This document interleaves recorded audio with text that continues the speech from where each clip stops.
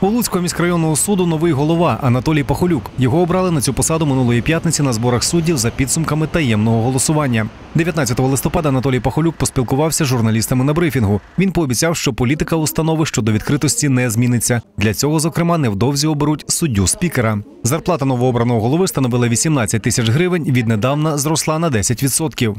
Я поясню, е, чому така, тому що зараз е, усі судді нашого суду, за виключенням е, однієї судді, яка вже пройшла кваліфікаційне оцінювання, проходять е, процедуру кваліфікаційного оцінювання. Ми отримуємо заробітну плату, яка встановлювалась в розмірі, що встановлений попереднім законом. Також Анатолій Пахолюк висловив свою думку щодо суду присяжних в Україні. Це прогрес, е, це новація.